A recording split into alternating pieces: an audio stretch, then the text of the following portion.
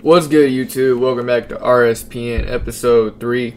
Uh, last week we picked um nine and seven, which is not as good as I hoped. I did make some bad picks on that week, but um, this video is gonna be uploaded late just to let y'all know, and just to let y'all know I am not cheating with my picks. The week has not started yet.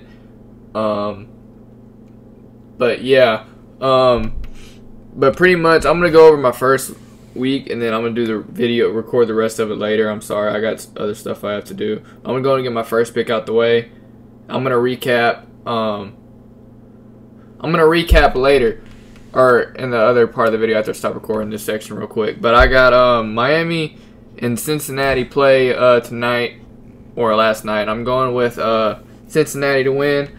But that's all I'm to talk about right now, and then I'll do the rest later later on in the week. So I just wanted to let y'all know that I'm not cheating on that. So, but we'll resume later. Tomorrow. In conversation for week three is Philly beating Steelers. Um, I unfortunately picked wrong. Um, that game I thought Pittsburgh was gonna win, but my Eagles put in some work that game. Carson Wentz looks good.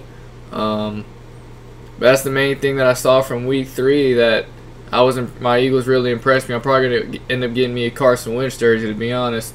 But um, last week we picked nine and seven, so that'll put us at uh 11 and 5, 20 and 12. We're 29 and 20, 29 and 19. Yeah, we're 29 and 19 right now. So our record's not too bad picking games. Um, trying to think anything else happened week three that stuck out to me. I mean, people have been going down with injuries left and right, but um, let's just go ahead and hop into my picks real quick. Uh, where are we at?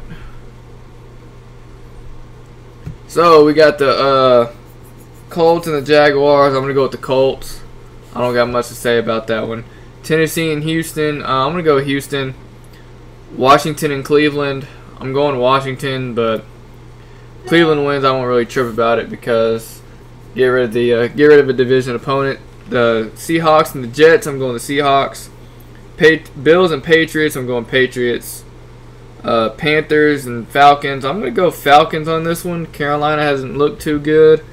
Atlanta's been playing all right or better than last year, so I'm gonna go uh, Atlanta.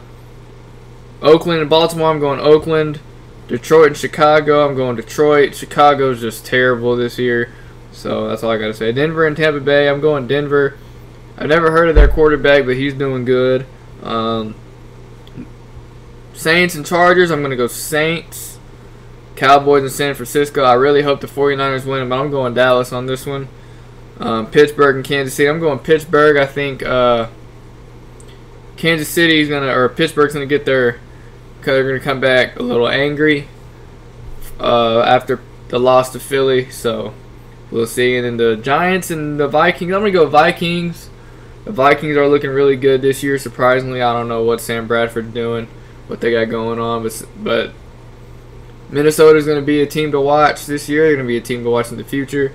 And of course, my Eagles and Packers are on buys this week, so there will be so there's not going nothing much going on from them. But there's who I got this week. Um, let me know in the comments below what y'all think. Who's gonna win?